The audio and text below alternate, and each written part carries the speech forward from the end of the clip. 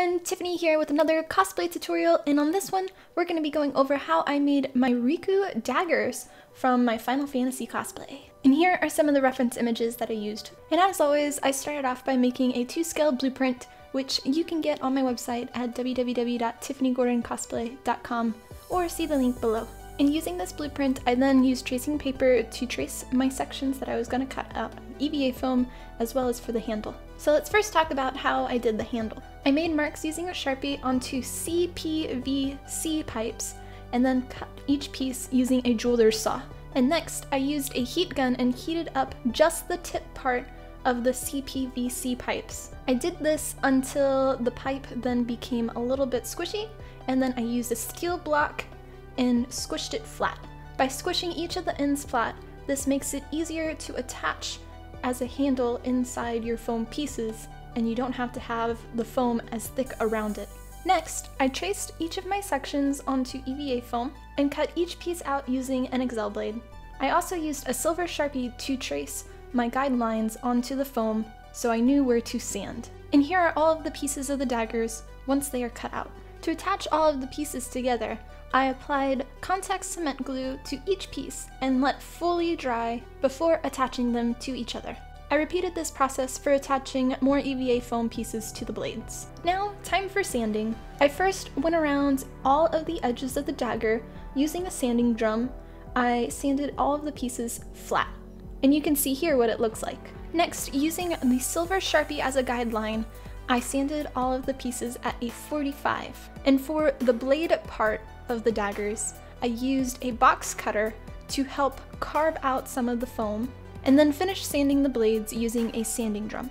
For the gear detail piece, I again used a sanding drum to round all of the edges, and then heat treated all of the EVA foam pieces using a heat gun. Next, I traced the gear detail piece onto the main dagger using a silver sharpie, and then again applied contact cement glue to both sides of the EVA foam, let fully dry before attaching together. Now that all of the EVA foam pieces were attached together, I sanded the inside circle where the handle will be using a sanding drum, and then rounded the edges at a 45 degree with the sanding drum again. For the little bead detail pieces on the daggers, I used some studs that I had laying around the house. For attaching the handle, I first traced onto the EVA foam with a silver sharpie where the handle will need to go. And next I burnt out the hole using a soldering iron so that way the handle could insert into the foam. And once the foam had cooled down, I then inserted the CPVC pipes into the EVA foam and applied contact cement glue so that way it would hold it in place. And here is what the base daggers looked like. I then applied three heavy coats of Plasti-Dip to each of the daggers and let dry.